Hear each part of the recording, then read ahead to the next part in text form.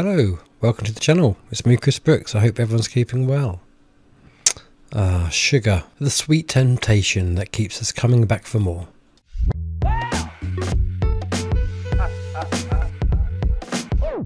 We know it's bad for us, too much of it, and we get a wrath of health problems, ranging from obesity to diabetes. But then there's the alternative, artificial sweeteners, the seemingly better option, or so we think, and one sweetener in particular has been causing quite a stir for decades aspartame. Aspartame, which was developed in 1965, is 200 times sweeter than sugar, but packs fewer calories.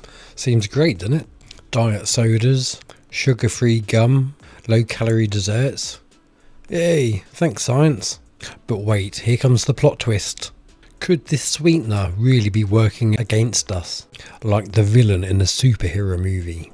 You see, scientists have been debating whether or not aspartame have links to cancer. Some studies say possibly, other studies say not so fast, and others say, well, we're not sure yet. The World Health Organization's Cancer Research Division, the IARC, has slapped it with a 2B label, which means potentially carcinogenic to humans. It's the same category as pickled vegetables, so maybe just don't drink 9 cans a day. On the other hand, the FDA have said that, hold on, we don't actually think this is too bad. So, who do we trust here?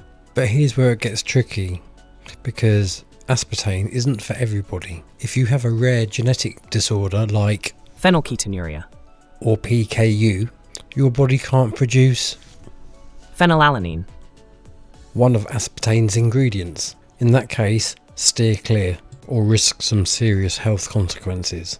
Some people report headaches, digestive issues, or even mood swings after consuming it. So is that just coincidence?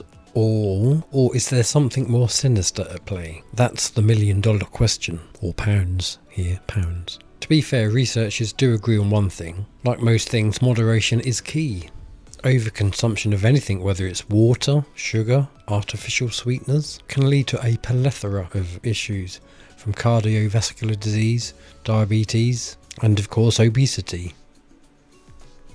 So perhaps maybe we need to stop eating diet foods and drinks thinking that they're much better for you and actually treat them like you would treat a cake or a proper sugary drink because there isn't really much difference in it. You're just substituting one risk for another. So what's your opinion on aspartame or diet products in general? Let me know in the comments. Look after yourselves. Speak to you soon. Bye for now.